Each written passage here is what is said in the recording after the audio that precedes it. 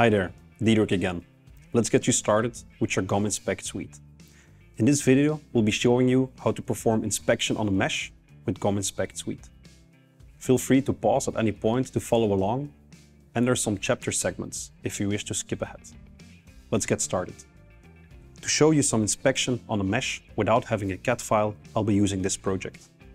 Remember before I showed you how to import my scan data, which was an STL file, I was able to make this 3-2-1 alignment, which using F10, I can even see my coordinate system and I can verify this is a nicely aligned state of the part. But let's go a little further. Let's show you how we can perform some inspection on this mesh without having a CAD file.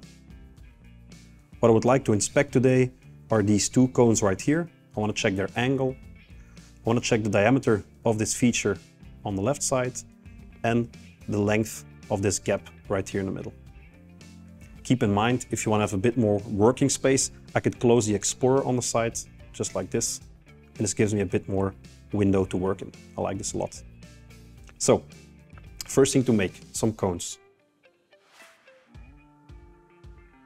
Construct, cone, fitting cone.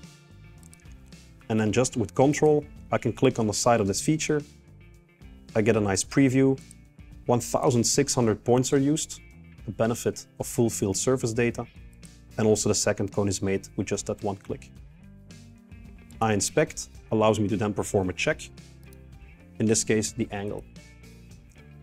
Imagine I also have a technical drawing to which I need to refer this dimension, and the technical drawing states a 2 degree angle. I could enter this here as a nominal value, verify the tolerance, and I'm all good. Both of them are within specifications. Great. Next thing I want to inspect is the diameter of the cylinder here on the left-hand side. So let's construct a cylinder, a fitting cylinder, and with one click on the side, it calculates this cylinder right for me. 1,700 points. Using iInspect, I'll check the diameter.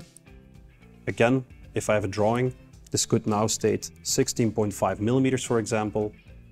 And let's see, great within tolerance, same as those angles. The last feature I would like to inspect is the width of this gap right here, of this feature in the middle. For this I'll be using a caliper. We have different type of caliper. I have some outer disc, inner disc, outer edge, inner edge. Let's use an inner edge and I'll show you why. With this inner edge caliper, I could click a point right here, roughly on the other side, but as I know my coordinate system right here tells me that the y direction is the interesting direction for me, I select y and an ed edge direction of z and see what happens. So now it shows me this virtual caliper which will open up and the very first two points it touches, those will be used to calculate the distance. I'll do this for the complete mesh and there we go. I get a preview of this distance calculation.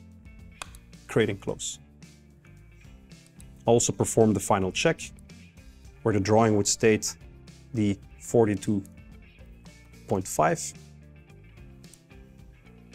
And there we go, also perfectly within specifications. I'll take a nice view using my cube at the bottom, position my labels the way I like, maybe like this. And like always, I can store this as a report page in the main toolbar give it the right title, save it as a PDF, and you're done. So I was able to show you in a couple minutes how we could perform inspection on a mesh in case you would not have your CAD file, or the CAD file is not at hand, or doesn't even exist. So we inspected some cones and the angle of these cones, the size of that cylinder, but also a caliper measurement on that mesh. If you experience anything else on your side than what you've seen here, or you have questions or issues with your GOM Inspect suite, reach out to us via support at handsonmetrology.com. For more getting started information, please check out the other videos as well. Thanks for watching. I'll see you next time.